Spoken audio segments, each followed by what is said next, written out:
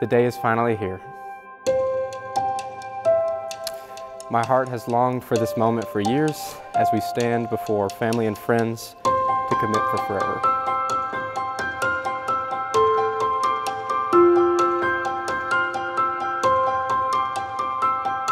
I love your servant's heart, your care for others and gentleness that remains constant in you. You have loved and pursued me endlessly, and I am so thankful God blessed me with the privilege it is to experience life with you.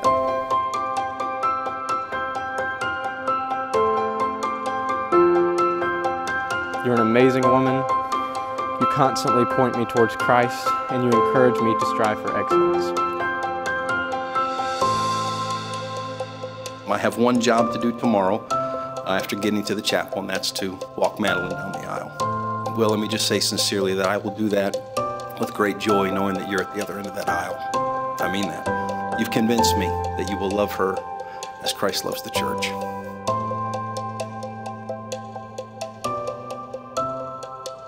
I used to sit in this chapel and come pray for you. Come pray for us and dream of one day walking down this aisle, eyes fixed on you.